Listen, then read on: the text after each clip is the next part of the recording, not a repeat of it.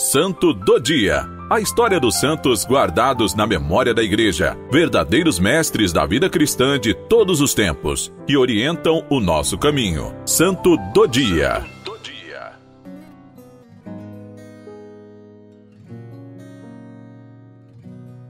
Olá, você que espera a meditação sobre o Santo do Dia. Hoje, dia 12 de abril, celebramos a memória de São Vito.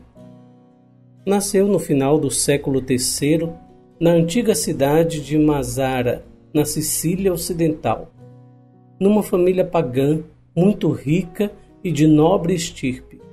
Sua mãe morreu quando ele tinha tenra idade e seu pai, Halas, contratou uma ama, Crescência, para cuidar do pequenino. Ela era cristã, viúva e tinha perdido um único filho havia pouco tempo. Era de linhagem nobre, mas em decadência financeira. Ele ainda providenciou um professor chamado Modesto para instruir e formar o seu herdeiro. Entretanto, o professor também era cristão. Alas era um obstinado pagão que encarava o cristianismo como inimigo a ser combatido. Por isso, Modesto e Crescência nunca revelaram que eram seguidores de Cristo. Contudo, educaram o menino dentro da religião. Desta forma, aos 12 anos, embora clandestinamente, Vito já estava batizado e demonstrava identificação total com os ensinamentos de Jesus. Ao saber do batismo, o pai tentou convencê-lo a abandonar a fé, o que não deu resultado. Alá, seu pai, partiu para a força e castigou o próprio filho, entregando-o então ao governador Valeriano, que o encarcerou e maltratou por vários dias, tentando fazer Vito abdicar de sua fé. Modesto e Crescência, entretanto, conseguiram arquitetar uma fuga e, seguindo a tradição, com a ajuda de um anjo, tiraram Vito das mãos do poderoso governador. Fugiram os três para Lucânia, em Nápoles, onde esperavam encontrar a paz. Mas depois de algum tempo, foram reconhecidos e passaram a viver de cidade em cidade, fugindo dos algozes. Nesse período, Vito, que desde os sete anos havia manifestado dons especiais, patrocinou muitos prodígios. Como o mais célebre deles, lembrado pela tradição, quando ele ressuscitou em nome de Jesus um garoto que tinha sido estraçalhado por cães raivosos.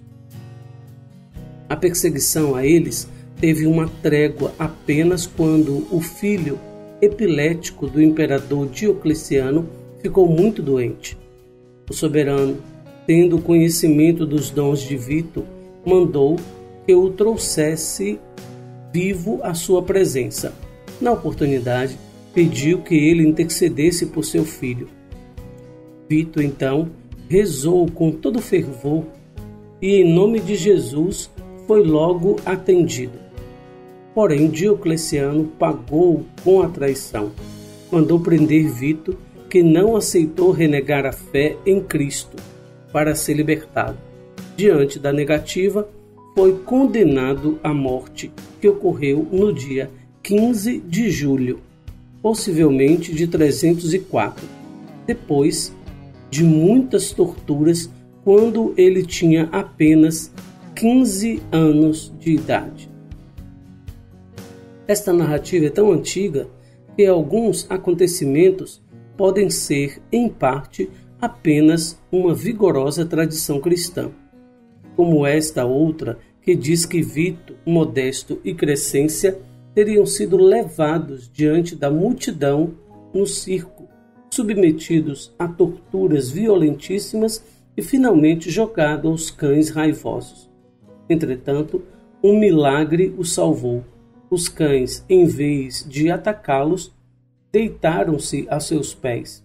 Irado, o sanguinário Diocleciano mandou que fossem colocados dentro de um caldeirão com óleo quente, onde morreram lentamente.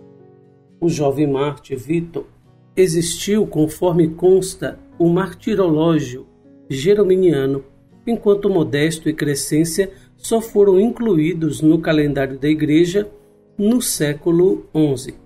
Suas relíquias, que depois de sua morte foram sepultadas em Roma em 755, foram enviadas para Paris.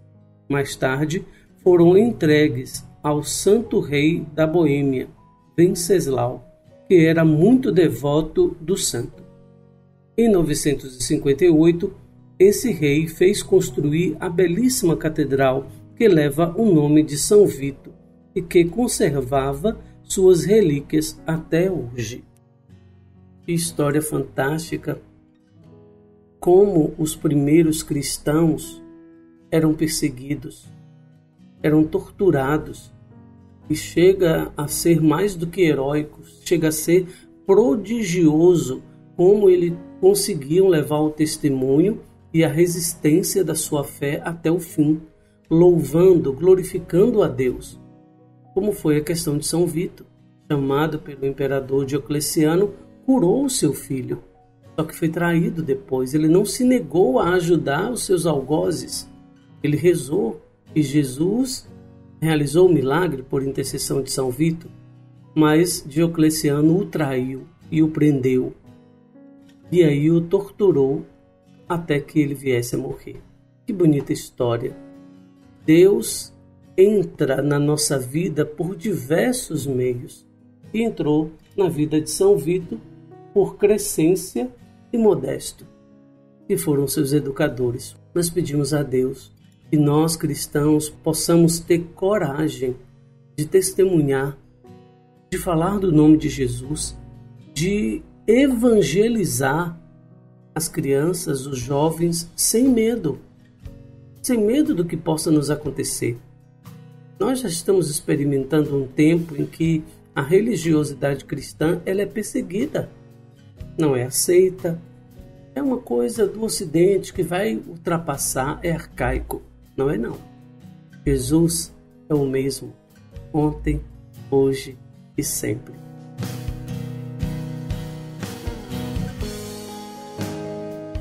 Por isso, peçamos, por intercessão de São Vito, que desça sobre nós a bênção da coragem, da fortaleza, a anunciar o nome de Jesus a quantos nós pudermos. Em nome do Pai, Filho e do Espírito Santo. Amém. São Vito, rogai por nós.